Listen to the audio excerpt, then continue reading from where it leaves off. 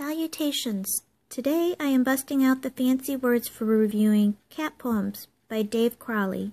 Cat Poems is full of simple poetry and beautiful illustrations showing the diversity of cat life. The pictures show a handful of breeds, not just a generic house cat or fancy Persian. Poem topics include a stray finding a home, helping humans study,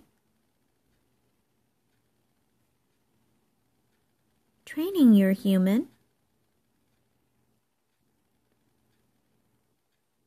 doing chores,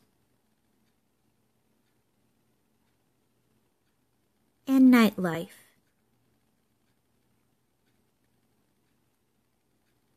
This book is good for 5 to 10 year olds who like to rhyme and adults who make the time. It is told from the human point of view, although cats can enjoy it too. I give the book one paw up.